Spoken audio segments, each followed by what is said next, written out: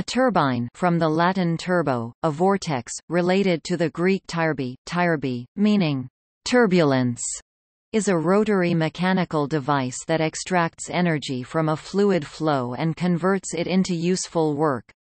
The work produced by a turbine can be used for generating electrical power when combined with a generator. A turbine is a turbomachine with at least one moving part called a rotor assembly, which is a shaft or drum with blades attached. Moving fluid acts on the blades so that they move and impart rotational energy to the rotor. Early turbine examples are windmills and waterwheels. Gas, steam, and water turbines have a casing around the blades that contains and controls the working fluid. Credit for invention of the steam turbine is given both to Anglo-Irish engineer Sir Charles Parsons (1854–1931) for invention of the reaction turbine, and to Swedish engineer Gustaf de Laval (1845–1913) for invention of the impulse turbine. Modern steam turbines frequently employ both reaction and impulse in the same unit, typically varying the degree of reaction and impulse from the blade root to its periphery. The word turbine was coined in 1822 by the French mining engineer Claude Burdin from the Latin turbo, or vortex, in a memo. Des turbines hydrauliques aux machines rotatoires à grande vitesse which he submitted to the Académie royale des sciences in Paris. Benoit Fourneyron, a former student of Claude Burdin, built the first practical water turbine.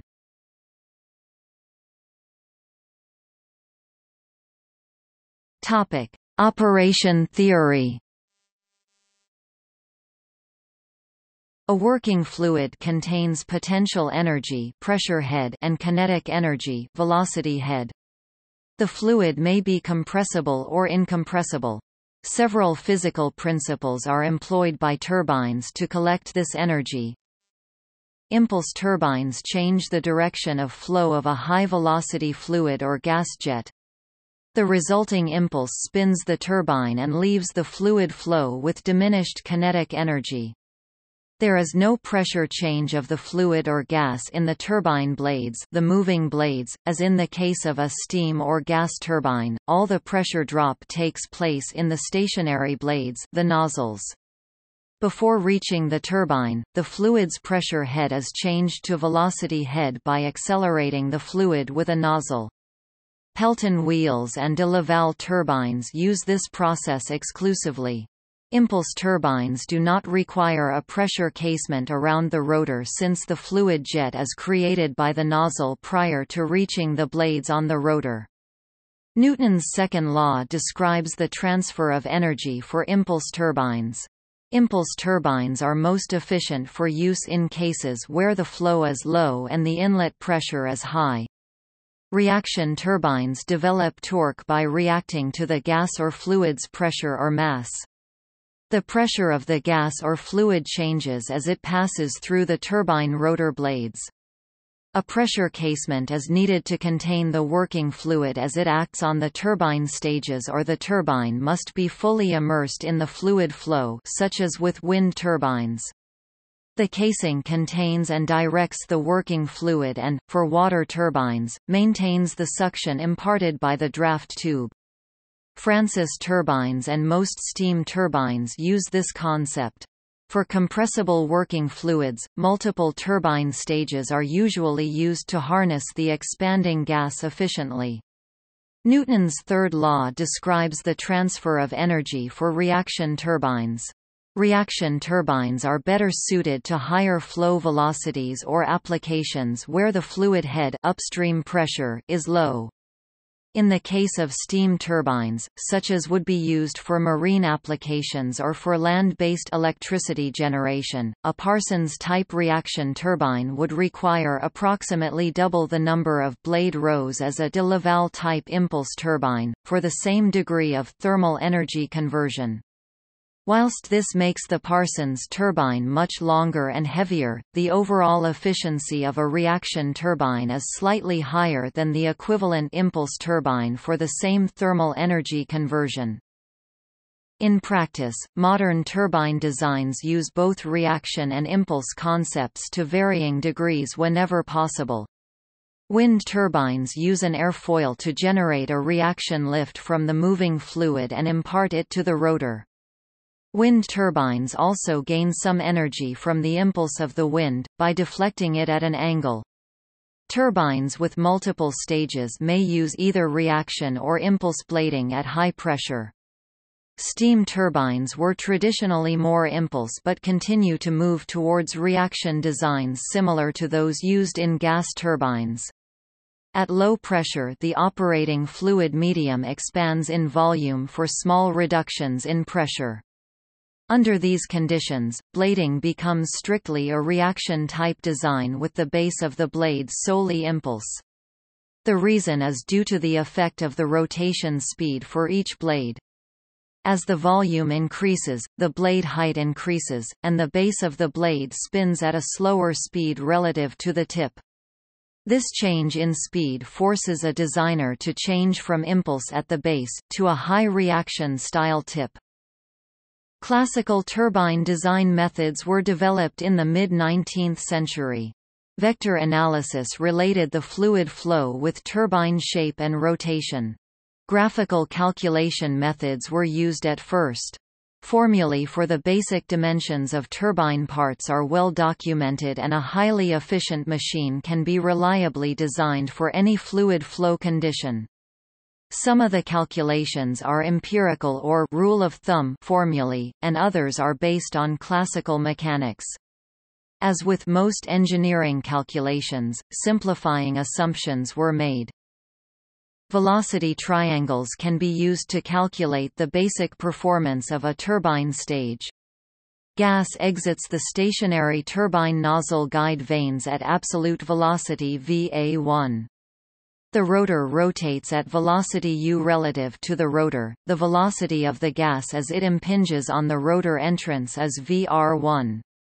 The gas is turned by the rotor and exits, relative to the rotor, at velocity Vr2. However, in absolute terms the rotor exit velocity is Va2. The velocity triangles are constructed using these various velocity vectors. Velocity triangles can be constructed at any section through the blading for example, hub, tip, midsection and so on but are usually shown at the mean stage radius. Mean performance for the stage can be calculated from the velocity triangles, at this radius, using the Euler equation delta h equals u delta v w. Display style delta h equals u c d o t delta v underscore w. Hence delta H T equals U delta V W T display style frac delta H T equals frac U C D O T delta V underscore W T where delta H display style delta H is the specific enthalpy drop across stage T display style T is the turbine entry total or stagnation temperature U. Display style U. Is the turbine rotor peripheral velocity. Delta. V. W. Display style delta v underscore w. Is the change in whirl velocity turbine pressure ratio as a function of delta h t display style frac delta h t and the turbine efficiency modern turbine design carries the calculations further Computational fluid dynamics dispenses with many of the simplifying assumptions used to derive classical formulas and computer software facilitates optimization. These tools have led to steady improvements in turbine design over the last 40 years. The primary numerical classification of a turbine is its specific speed. This number describes the speed of the turbine at its maximum efficiency with respect to the power and flow rate. The specific speed is derived to be independent of turbine size. Given the fluid flow conditions and the desired shaft output speed, the specific speed can be calculated and an appropriate turbine design selected. The specific speed, along with some fundamental formulas can be used to reliably scale an existing design of known performance to a new size with corresponding performance. Off-design performance is normally displayed as a turbine map or characteristic.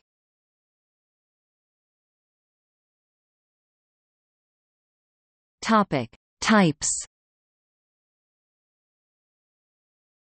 Steam turbines are used for the generation of electricity in thermal power plants, such as plants using coal, fuel oil or nuclear fuel. They were once used to directly drive mechanical devices such as ships' propellers for example the Turbinia, the first turbine-powered steam launch, but most such applications now use reduction gears or an intermediate electrical step, where the turbine is used to generate electricity, which then powers an electric motor connected to the mechanical load. Turbo-electric ship machinery was particularly popular in the period immediately before and during World War II, primarily due to a lack of sufficient gear-cutting facilities in US and UK shipyards. Gas turbines are sometimes referred to as turbine engines. Such engines usually feature an inlet, fan, compressor, combustor and nozzle possibly other assemblies in addition to one or more turbines. Transonic turbine. The gas flow in most turbines employed in gas turbine engines remains subsonic throughout the expansion process. In a transonic turbine the gas flow becomes supersonic as it exits the nozzle guide vanes, although the downstream velocities normally become subsonic. Transonic turbines operate at a higher pressure ratio than normal but are usually less efficient and uncommon. Contra-rotating turbines. With axial turbines, some efficiency advantage can be obtained if a downstream turbine rotates in the opposite direction to an upstream unit. However, the complication can be counterproductive. A contra-rotating steam turbine, usually known as the Ljungström turbine, was originally invented by Swedish engineer Fredrik Ljungström (1875–1964) in Stockholm, and in partnership with his brother Birger Ljungström he obtained a patent in 1894.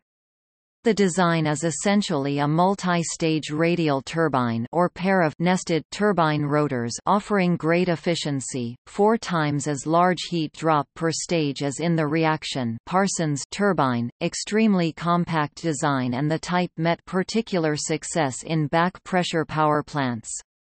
However, contrary to other designs, large steam volumes are handled with difficulty and only a combination with axial flow turbines Durex admits the turbine to be built for power greater than ca 50 MW. In marine applications only about 50 turbo-electric units were ordered of which a considerable amount were finally sold to land plants during 1917–19, and during 1920–22 a few turbo-mechanic not very successful units were sold. Only a few turbo-electric marine plants were still in use in the late 1960s SS Rhein, SS Regen while most land plants remain in use 2010. Statorless turbine Multi-stage turbines have a set of static meaning stationary inlet guide vanes that direct the gas flow onto the rotating rotor blades. In a stator-less turbine the gas flow exiting an upstream rotor impinges onto a downstream rotor without an intermediate set of stator vanes that rearrange the pressure, velocity energy levels of the flow being encountered. Ceramic turbine Conventional high-pressure turbine blades and vanes are made from nickel-based alloys and often use intricate internal air cooling passages to prevent the metal from overheating. In recent years, experimental ceramic blades have been manufactured and tested in gas turbines, with a view to increasing rotor inlet temperatures and or, possibly, eliminating air cooling. Ceramic blades are more brittle than their metallic counterparts, and carry a greater risk of catastrophic blade failure. This has tended to limit their use in jet engines and gas turbines to the stator stationary blades. Shrouded turbine. Many turbine rotor blades have shrouding at the top, which interlocks with that of adjacent blades, to increase damping and thereby reduce blade flutter. In large land-based electricity generation steam turbines, the shrouding is often complemented, especially in the long blades of a low-pressure turbine, with lacing wires. These wires pass through holes drilled in the blades at suitable distances from the blade root and are usually brazed to the blades at the point where they pass through. Lacing wires reduce blade flutter in the central part of the blades. The introduction of lacing wires substantially reduces the instances of blade failure in large or low-pressure turbines. Shroudless turbine. Modern practice is, wherever possible, to eliminate the rotor shrouding, thus reducing the centrifugal load on the blade and the cooling requirements. Bladeless turbine uses the boundary layer effect and not a fluid impinging upon the blades as in a conventional turbine. Water turbines Pelton turbine, a type of impulse water turbine Francis turbine, a type of widely used water turbine. Kaplan turbine, a variation of the Francis turbine. Turgo turbine, a modified form of the Pelton wheel. Cross-flow turbine, also known as Banki-Michell turbine, or Ossberger turbine. Wind turbine. These normally operate as a single stage without nozzle and interstage guide vanes. An exception is the Éolienne Bollée, which has a stator and a rotor. Velocity compound Curtis Curtis combined the de Laval and Parsons turbine by using a set of fixed nozzles on the first stage or stator and then a rank of fixed and rotating blade rows, as in the Parsons or de Laval, typically up to 10 compared with up to a hundred stages of a Parsons design. The overall efficiency of a Curtis design is less than that of either the Parsons or de Laval designs, but it can be satisfactorily operated through a much wider range of speeds, including successful operation at low speeds and at lower pressures, which made it ideal for use in ship's powerplant. In a Curtis arrangement, the entire heat drop in the steam takes place in the initial nozzle row and both the subsequent moving blade rows and stationary blade rows merely change the direction of the steam. Use of a small section of a Curtis arrangement typically one nozzle section and two or three rows of moving blades, is usually termed a Curtis wheel and in this form, the Curtis found widespread use at sea as a governing stage on many reaction and impulse turbines and turbine sets. This practice is still commonplace today in marine steam plant. Pressure compound multi-stage impulse, or Rateau after its French inventor, Auguste Rateau. The Rateau employs simple impulse rotors separated by a nozzle diaphragm. The diaphragm is essentially a partition wall in the turbine with a series of tunnels cut into it, funnel-shaped with the broad end facing the previous stage and the narrow the next they are also angled to direct the steam jets onto the impulse rotor. Mercury vapor turbines used mercury as the working fluid, to improve the efficiency of fossil-fueled generating stations. Although a few power plants were built with combined mercury vapor and conventional steam turbines, the toxicity of the metal mercury was quickly apparent. Screw turbine is a water turbine which uses the principle of the Archimedean screw to convert the potential energy of water on an upstream level into kinetic energy.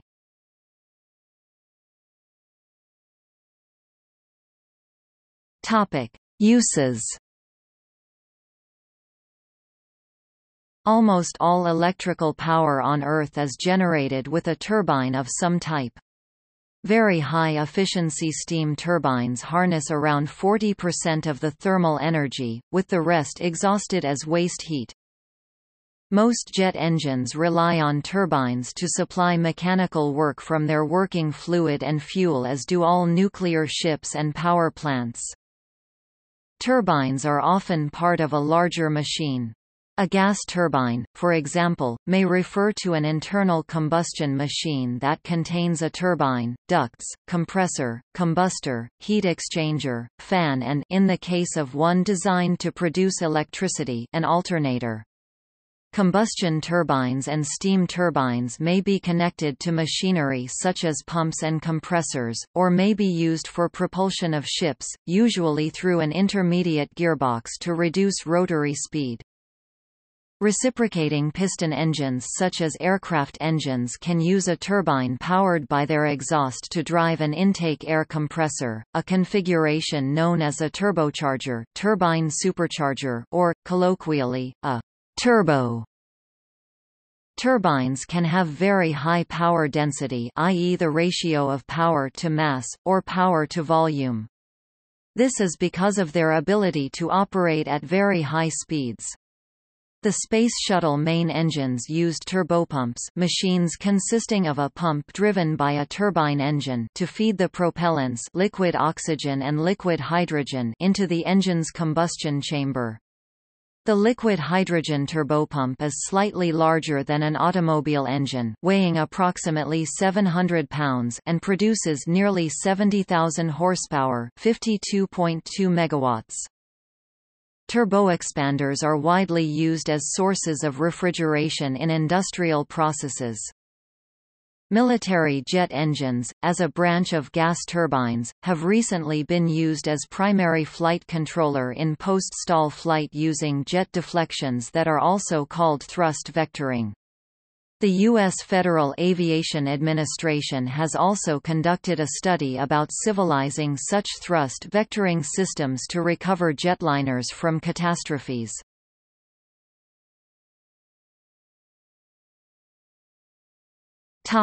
See also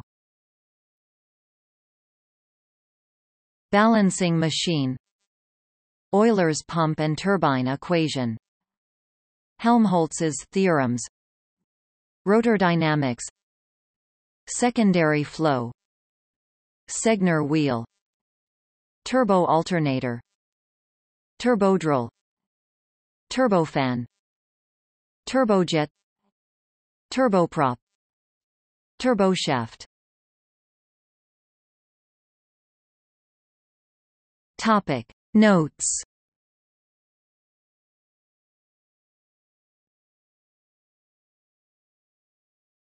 Topic Further reading Layton, Edwin T.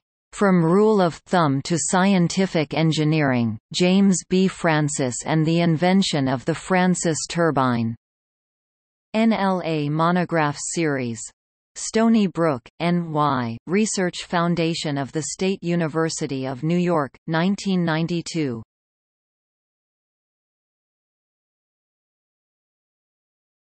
Topic. External links Turbines